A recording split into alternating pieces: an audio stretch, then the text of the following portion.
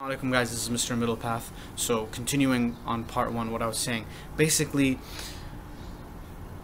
developing a natural relationship with Allah, with Allah subhanahu wa ta'ala doesn't require these types of, of, of mind altering substances. And I as I mentioned before, it mimics the effect of of spiritual growth even though it's not, right?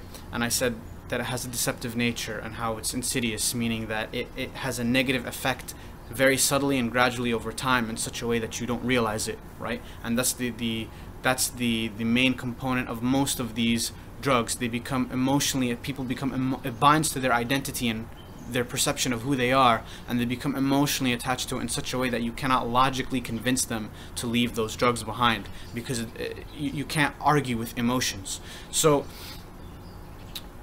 and there's a reason for that so the, scientifically the weed binds to the THC, the chemical component that gets you high, binds to your fat cells in your body. So, for example, someone does heroin, uh, the heroin is flushed out of your system in one day, but weed it stays in your system for two months. So people might not feel that. The, so the withdrawal symptoms are are mitigated because if, if you're not smoking weed that day, the THC is still in your body, it's still in your system, so you're not really having that negative effect that you would have with other drugs because it's still there in your mind. So really, it takes about two months for it to flush out of your system, and in that time of two months is really the time that it takes after the two month period after a three month period is when you really start seeing these change the positive changes from quitting weed I have seen people who have went to the psychiatric hospital and developed full-blown uh, schizophrenia. I'm going to talk about that at the end of the video, but I also wanted to say that other people who think that weed is okay, they said they use the spiritual growth excuse, right? I hear that one a lot. They use the, the successful people excuse. So they say, oh, it's just a stereotype that potheads or people who smoke too much weed are not successful in life. And I've, I know X person that is successful because he smokes weed. And that's like me saying, my name, I'm Ahmed Mauer. I, I wear a black hat. Ahmed Mauer is a human being. Therefore, all human beings wear black hats. It's a stupid logical argument. It's like saying that person was successful because he smoked weed, not because of their hard work or their connections, right? So that person was successful despite the fact that they smoke weed. And I know people who are successful despite the fact that they smoke weed, and I tell them, it's like, this weed use is getting in the way, right? You don't really need it as a stress reliever. You could be actually being a lot more successful if you don't smoke weed, right? And most people though, most people who smoke weed are not successful, right? And they are bums. And this stereotype is not something that happened in America um, recently. This stereotype has existed for thousands of years. The stereotype of the lazy, bum, loser, pothead has existed for more than a thousand years, okay? Even in Islamic history, and I'll bet you even before that in other countries' history that people who eat too much hash had the same thing. I mean, if it was there in Islamic history, then I'm I'm I'm 99% sure that in other cultures and other histories, you will see the weed use in the stories of the of of the uh, of the mentally gone, uh, mentally unaware um, pothead who's not who, who's who's in the dregs of society, right? So so this this stereotype is a very old stereotype, right? And there's there is a reason for that. There is a reason for that. So for example, people one of the side effects of, of weed is paranoia, right? And paranoia people say, "Oh, I'm just paranoid because I'm weed is illegal where I live. I'm paranoid because of the police." But what they don't understand is the paranoia is actually a physical chemical effect from the marijuana itself. And it will manif the paranoia is the symptom. It will manifest itself in different ways depending on where you live in your culture. So, for example, you might be paranoid because of you might be paranoid because of the police. Someone who's at home might be paranoid because his parents are going to come home.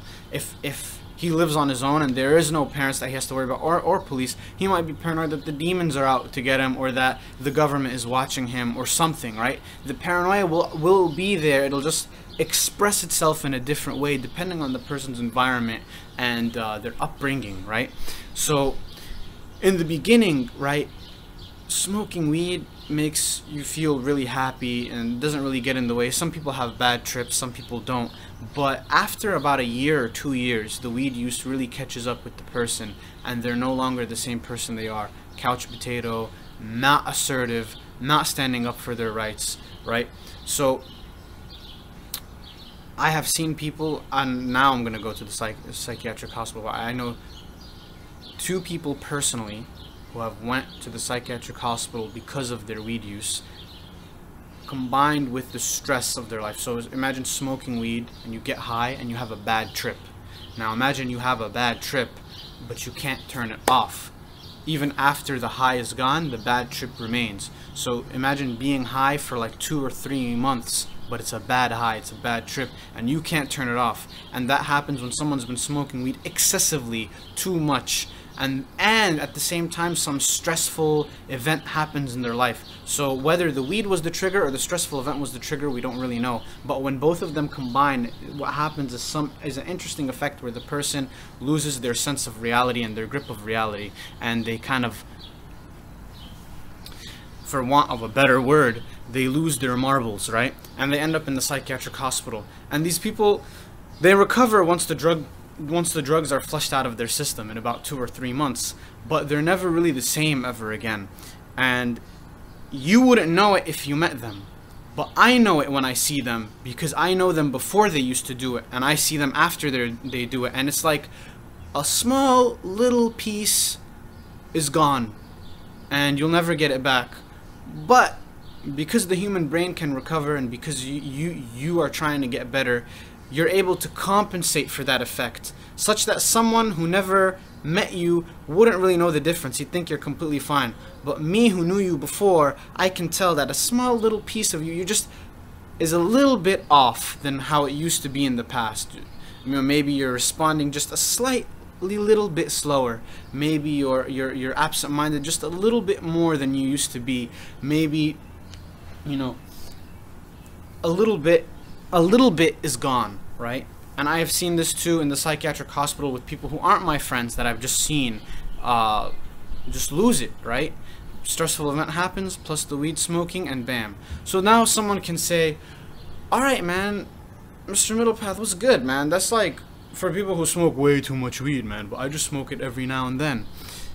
There's no such thing as smoking it every now and then because the weed lasts in your body for two months. Get it right, alright? Quit it completely. The weed lasts in your body for two months. It subtly and slowly ropes you in, right? Like a like a like a prostitute hooker with with with bad diseases with like STDs in her and then you won't know you have the STDs until it's too late so please guys take advice from someone who's been around for a while who's seen the effects that it has on people's lives probably probably the biggest red flag of weed is that unlike other drugs, people know they have a problem when they have the problem, right? Most people. But with weed, no one admits that they have a problem when their use becomes problematic, when their when their drug when their weed use becomes problematic. And it's not just weed use; it's all psychedelic drugs, mushrooms and acid, weed, and any drugs that has a mind-altering effect on the person. So these are my personal observations. I would recommend you to quit for three months, four months. See the changes that happens in your life, right? You will know when you're ready to quit. Compare yourself playing sports normally compared to playing when you're high. If you're really young, like 15, 16, you might not see a difference. But I'm telling you, go and observe people who are smoking weed a lot. Look at them in their late 20s, right? And think to yourself, do I want to be like that guy? That guy who smokes consistently. Observe him when he's high, his performance when he's high versus when he's not high. Observe his performance uh, in work, in life, socially, uh, his, his class status. And then if the person is successful, and we do have certain people who are successful because um, they're able to control themselves, ask yourselves, were they successful because they smoked weed, or are they a successful people who happens to smoke some weed? And then look at that if they're successful, why are you copying the weed use from them? Why aren't you copying the habits that made them successful? So are you using their success as an excuse for yourself to smoke weed? Because that's not logical. Because if you wanted to copy their success, you would copy the things that made them successful, not their habits. That's like me going to uh, a genius who's good at mathematics and instead of learning mathematics from him i copy his alcohol uh, he's let's say the mathematician is an alcoholic i say oh he's a smart mathematician i want to be just like him instead of Instead of learning the math from him and trying to be a good mathematician like him, I'm giving you an example, I go copy the alcohol use, right? It makes no sense for my personal growth, for my spiritual growth, for my self-development. You're instead of taking the good and leaving the bad, you're taking the bad and you're leaving the good. Which is relative for some people, but I don't want to get into the philosophy of ethics and where do ethics come from and, and, and all of that. That's a story for another time. But inshallah, this this gave you some perspective, right? And and Prophet Muhammad says it. Um, oh wait, hold on.